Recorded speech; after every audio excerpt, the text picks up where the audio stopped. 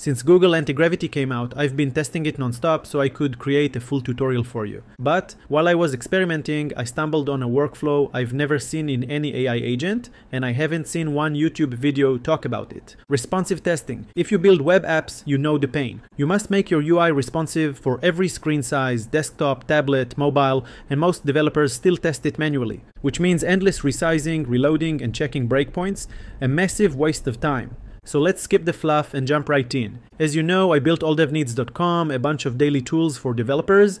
During one of my tests, I ran the site locally and asked Antigravity to check its responsiveness on desktop, tablet, and mobile. And yes, ignore the spelling mistakes, Antigravity is very forgiving. Then, it told me to install the Antigravity browser extension, which lets the IDE connect to Chrome and control it. At this point, I wasn't surprised. Cursor can control the browser, Playwright MCP can control the browser, nothing crazy. But then, it happened.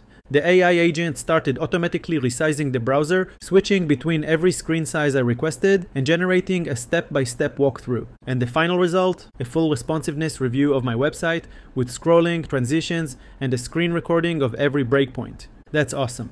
But I wanted to take it to the next level. So I asked Antigravity to focus on a single page, JSON formatter, and test its functionality across all screen sizes. And again, it generated tests for that page on every breakpoint. This time, it didn't just check responsiveness, it actually tested the functionality of the page on desktop, tablet, and mobile. As far as I know, this workflow doesn't exist in any other AI agent today. Even Cursor 2.0 can't yet resize the browser like this, which is exactly what allows Antigravity to get these results. But it wasn't all perfect. Along the way, I ran into a few issues that are worth mentioning. First, there were quite a lot of errors. At least four times I got this one. Usually, when I just sent another prompt, the issue was resolved. The second thing, I started running the responsiveness task in planning mode, but despite the name, it doesn't just plan. It executes, it modifies your code, and it does a lot more behind the scenes than you'd expect. But that's not even the worst part. Every single prompt took forever to run. Even when I switched to faster models, Sonnet 4.5 without thinking or Gemini Low, the execution time was still painfully slow. So yeah,